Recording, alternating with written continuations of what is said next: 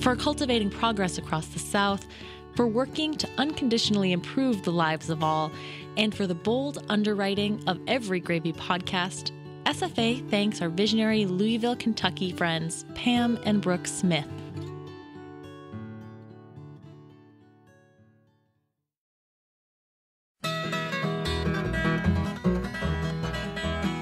Can't see electricity, I'm moving on the line.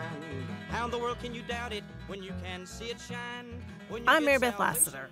I'm Melissa Hall. We're your hosts for Gravy. Gravy. Gravy. Gravy. A production of the Southern Foodways Alliance, Gravy tells the stories of the changing American South. And this week, Gravy goes electric. It's electric. Mary Beth, you have a lot of children. Oh, yes, four of them. Have you ever given any thought to what your days with those children would be like without electricity? Oh, goodness, heaven forbid. I would be stuck in the house amidst piles of laundry. My refrigerator would not work, which means there'd be no cold milk for Mary Claire's Frosted Flakes. And we wouldn't have a toaster for Maggie's Pop Tarts. It would be awful. In this episode, Katie Jane Fernelius shares the shocking truths about the ways in which electricity transformed domesticity. When we think of the industrialization of America and the rise of electricity, we're primed to think about people in cities and factories where machines and assembly lines abound. We think of Charlie Chaplin tangled up in conveyor belts and cogs in the movie Modern Times. We think of electric motors, coal mining, steam engines. But electricity transformed another area almost as much as it transformed the city or the factory. And that area is the house. It's the Westinghouse Total Electric Home. A home where electricity does everything heats, cools, illuminates, launders, preserves and prepares foods, entertains. It even lights a path to the front door. And because of that, there's one really key demographic that's impacted by electricity perhaps more than any other, and that's women. Nowhere does the role of electricity in changing what we expected from women and how we viewed them become more apparent than in advertising. When you step inside the total electric home, you step into an entirely new concept in living.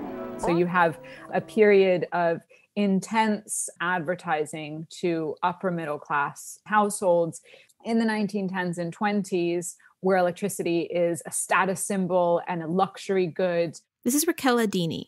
She used to work in advertising and market analysis, but now is a literary and cultural studies scholar at the University of Roehampton in London, England.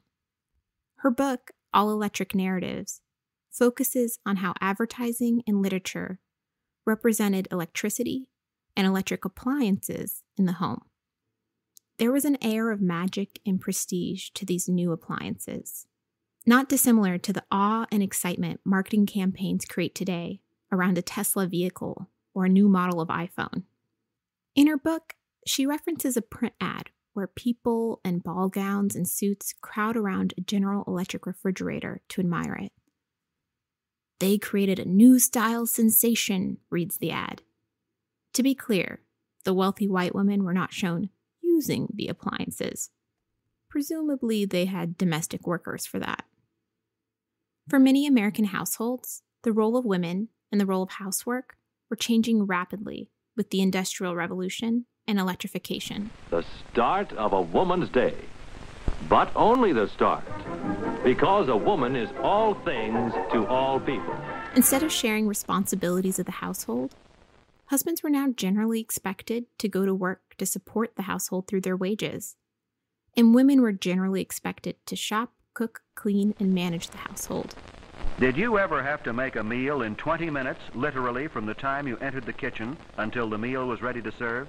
What had once been the work of multiple adults, perhaps including extended family members or hired cooks or maids, now, in most middle and working class nuclear families, became the job of one woman, the so called housewife.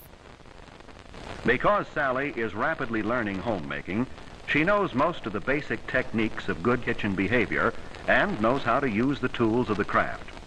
So industrialization divides um, the home from the factory, right? So whereas um, many families used to work, everyone would work in the home and divide household labor, and and the children and the parents would, you know, cook and clean and do all this stuff together. Industrialization puts an end to that, right? And on top of that, there's a question of uh, women and children in the factory suppressing wages because they could be paid less. So there's a drive to get women back in the home in order to keep men's wages up, right? So in the name of safety. Um, and then there's a question of what do we do with these women? One answer to that question was home economics. During industrialization, home economics emerged as a new academic discipline that explored not just how to cook and clean and care for the household, but also how to be a smart consumer of new technologies for the household, like kitchen appliances. So, on the one hand, home economics is very much a kind of conservative effort to justify keeping women in the home using the language of scientific management. But you know, this is also the same time as the suffragette movement. There are also socialist and feminist um, women at the time who are harnessing home economics as a way to prove that women play an important role in society. To say, because women do so much in the home, they should be allowed to vote. Because they are raising our children and feeding our husbands, they should have that. And the socialists among them, so for instance, Charlotte Perkins Gilman, is seeing this as a way to promote collectivist ideals. So she was into cooperative kitchens, for instance, as a way to share the workload so what I think is fascinating is that the home becomes this site of competing ideologies, right? So women who are saying, you know, that women should stay at home and that's all they should do and they should be kept busy managing the home and other women who are saying that that in turn should allow them rights outside of it. So i think it's more complex than just saying that women ran cooperatives or just saying that they were all conservative.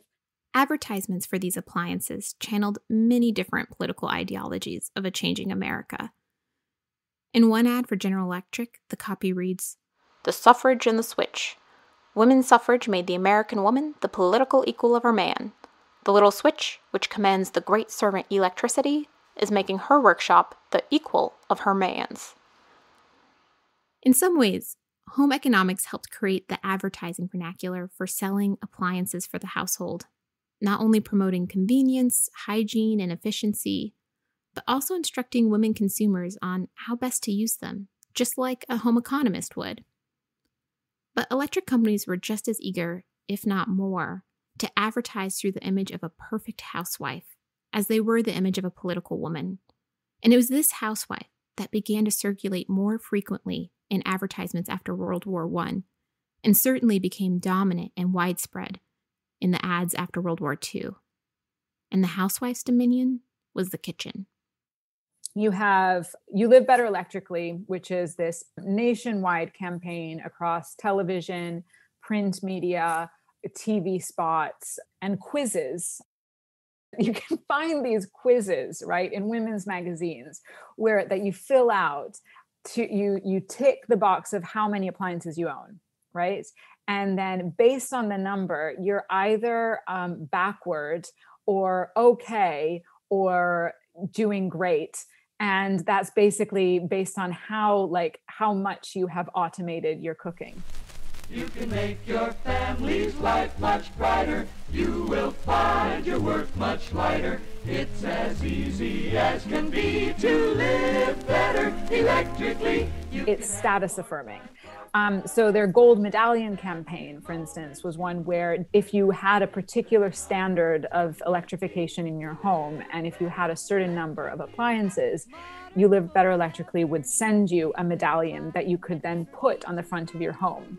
You don't have to work and slave. Let electricity do it for you. you so, the all electric kitchen came to represent not just a modern lifestyle, but the modern housewife as well. To be so free when you live better electrically. As anyone who's ever successfully unmolded a congealed salad can tell you, electricity has the power to make you fancy. When we come back, we'll learn how the electric kitchen was marketed to sell electricity itself, this time to rural Americans.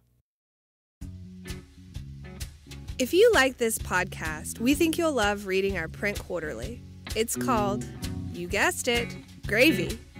You can subscribe to Gravy by becoming an SFA member at southernfoodways.org or purchase a copy through our friends at Hub City Press in Spartanburg, South Carolina. Visit hubcity.org to order the current issue. In the coming months, you might see Gravy on the shelf at your local bookstore. Ask your bookseller to stock it. SFA thanks Hub City Press for helping us serve more gravy.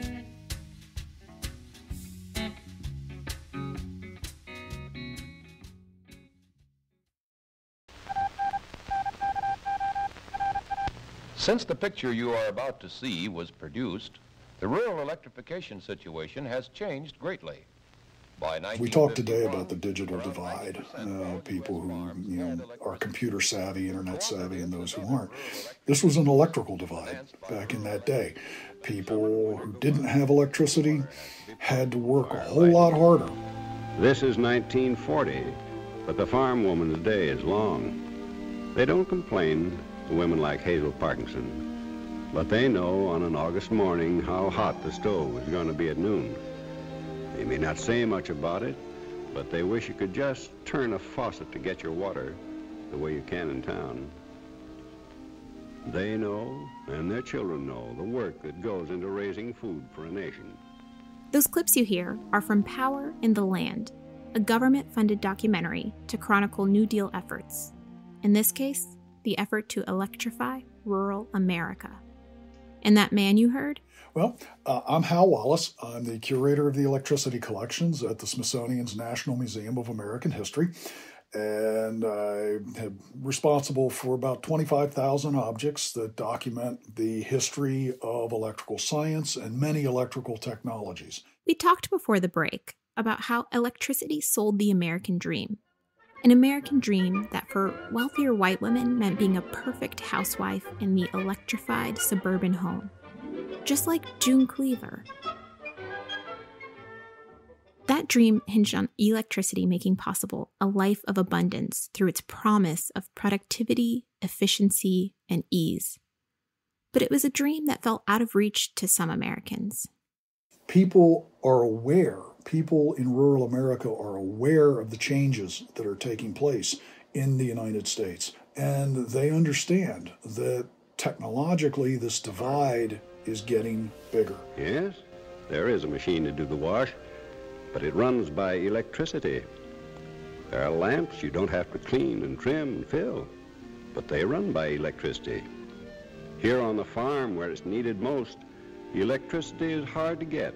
By the early 1930s, private power companies had built out the electric grid in most cities.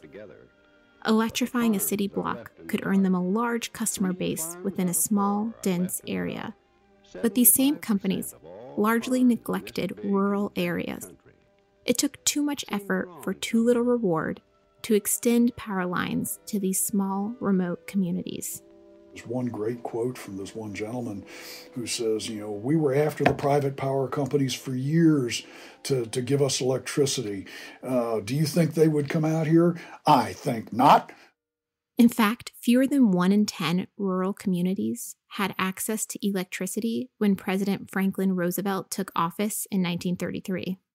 This was a period when a large percentage of the U.S. population was involved in agriculture and raising the nation's food supply. And younger people, especially, were leaving the farms for the cities. There were jobs there and factories, and there are the bright city lights and, and the, the nightlife and, and all of the modern conveniences that you don't have to put up with on the farm. Um, and so there's a real concern about securing the nation's food supply and getting electrification out there to you know help meet this demand for modern conveniences and what was seen as uh, essentially a modern lifestyle.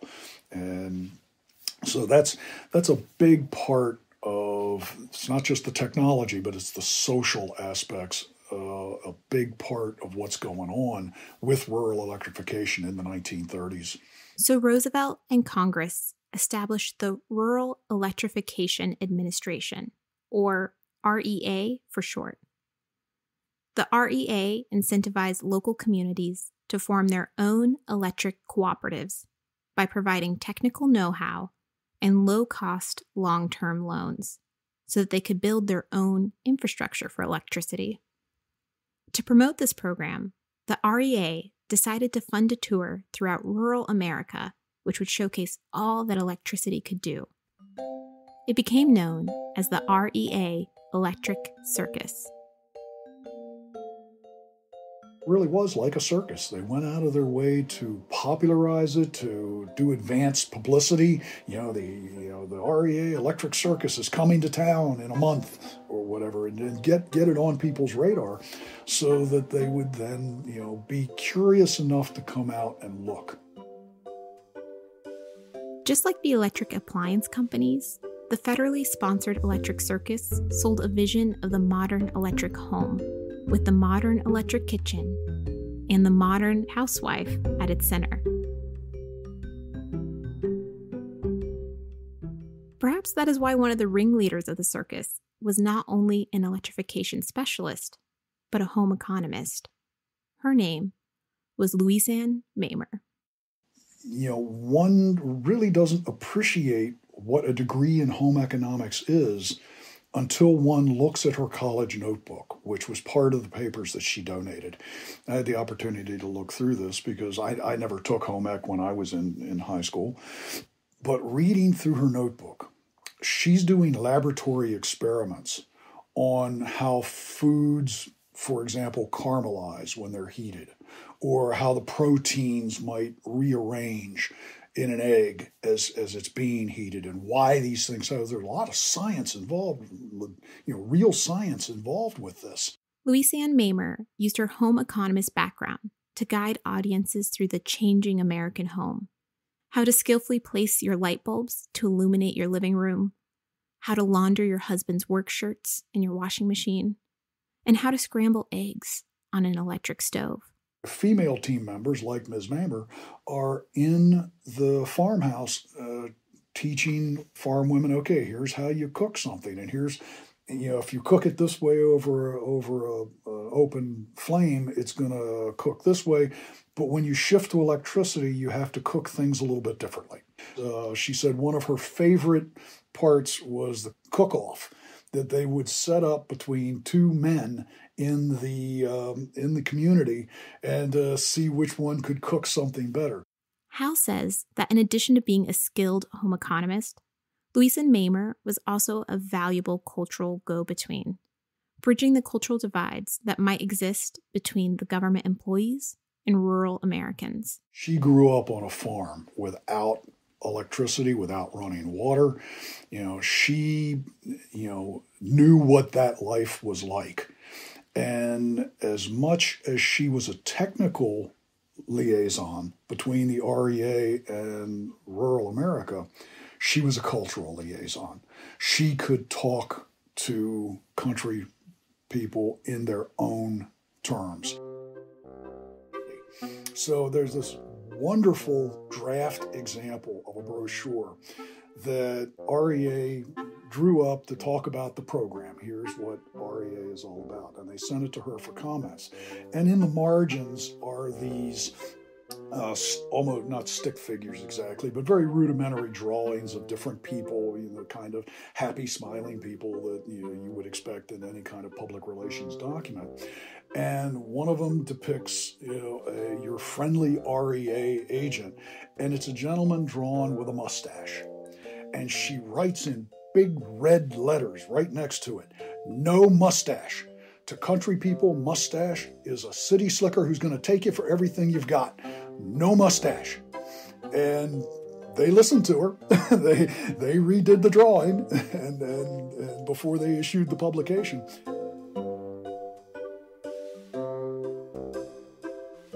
The REA's Electric Circus first operated from 1939 to 1941 before going on a brief hiatus during World War II. But once the war was over, the circus began touring again. And it worked. By the 1950s, over 90% of rural America was electrified, most through cooperatives. often after a co-op was set up and, every, and the power was flowing, they would have this ceremony where they would ceremoniously bury an old oil lamp or kerosene lantern with a and there's this wonderful picture of this one with a little tombstone saying here here rests this oil lamp that's been displaced by you know electric lighting. When Louisan Mamer retired in 1981, she was called the first lady of the REA due to her nearly five decade long career in the administration. For Hal, who spoke with me over Zoom, the impacts of Louisan Mamer in the REA remain deeply meaningful today. Full disclosure, I'm I'm coming to you from Southern Maryland here as a member of the Southern Maryland Rural Electric Cooperative. So, you know, I get my electricity from from a, a rural cooperative. Really? Yes. Oh my goodness, that is so fun. mm-hmm. So. Wow. Mm-hmm. Today, we reasonably expect to have access to electricity wherever we go in America. Even if we understand the extent to which electricity makes possible so much of what we do, from using a microwave to listening to this podcast, we probably don't think much about all the cultural values that were packaged along with it. Electric companies and the government both channeled familiar American values and manufactured new ideals in order to spread the electric lifestyle. And housewives in their electric kitchens were starring characters in those marketing campaigns.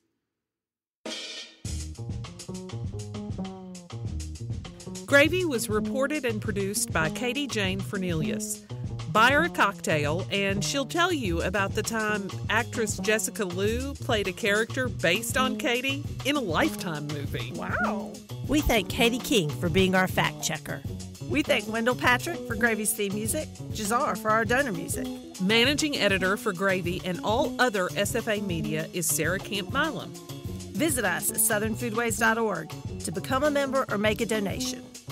Your dollars fund our good work and help us make more gravy. I'm Mary Beth Lassiter. I'm Melissa Hall. Excited to lap up another episode of Gravy? Tell a friend.